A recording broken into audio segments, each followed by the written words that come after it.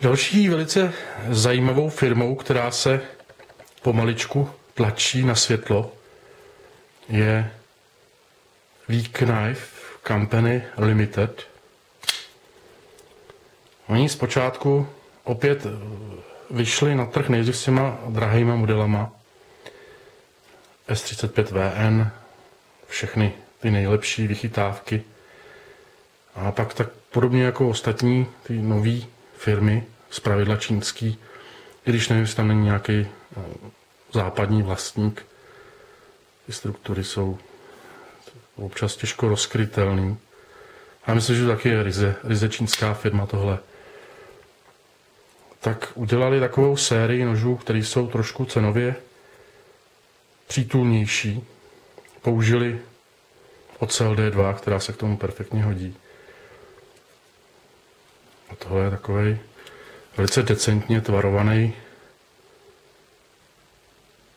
linerlock s fliprem. Lehce dutým výbrusem.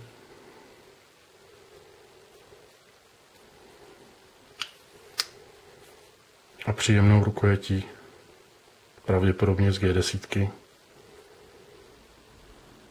podle struktury. Takže určitě budeme zvědaví na další kousky od téhle firmy. Zatím jsme prodali více fidget spinnerů od téže firmy než, než nožů. Hezký pouzdro. Je tady dokonce, nevím, jestli to je přímo jelenice, asi ne, bude to takový ten leštící hadřík. A tady,